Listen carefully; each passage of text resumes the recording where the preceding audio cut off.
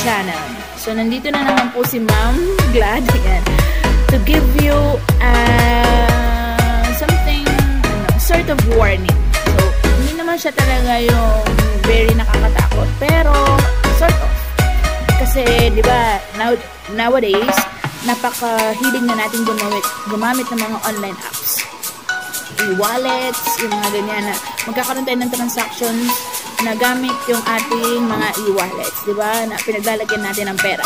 So, recently, just very recent, mga like, ano, one week ago lang, ako ay nagkaroon ng isang masamang transaction.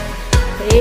So, hindi ko naman po dito, ano ha, hindi ko po dito intention na i-down yung certain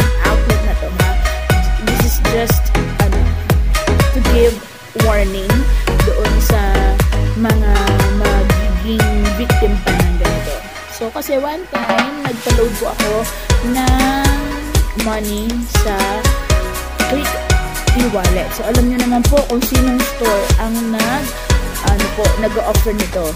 And yes po, ang po kayo is 7-Eleven. So, ito na nga po. Nagpa-load po ako ng certain amount enough to pay my bills dun po sa Click app.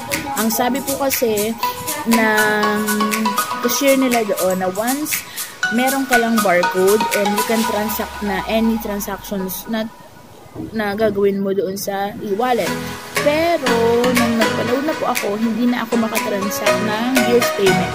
Kahit i-transfer ko siya sa e-wallet ko, like sa Gcash, Coins.ph, and Paymaya ko, hindi ko rin po magawa. So, tinawagan ko sa 7-Eleven hotline, sa 7-Eleven, 0711, ang sabi po nila ay wala na daw po silang magagawa doon.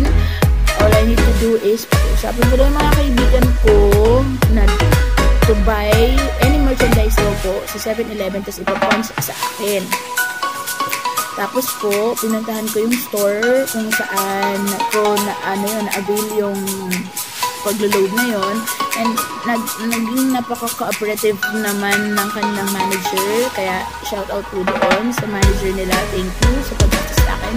So ganun na yung ginawa ko. Pumila po ako doon sa counter.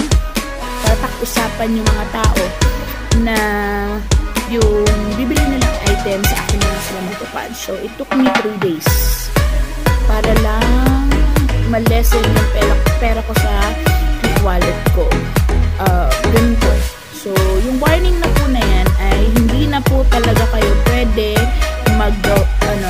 transaction sa click wallet niyo po sa click wallet niyo po, hindi na kayo pwedeng mag-bills payment, hindi na rin po pwedeng mag-transfer ng fund mula sa click e-wallet papunta po sa inyong Gcash.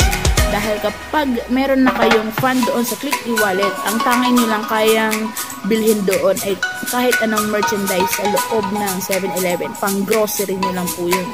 Kaya yun, lesson learned po sa akin at sana po sa inyo lahat wala na ibang mabiktima.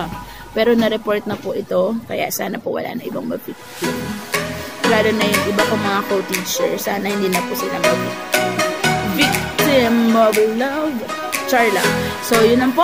Thank you very much and continue to please subscribe my channel. Paabutin po natin ito sa more than 1,000 subscribers and more and more and more and more. Thank you po. Ako lang po ito, Ma'am Anyan. Thank you and God bless us all. Bye!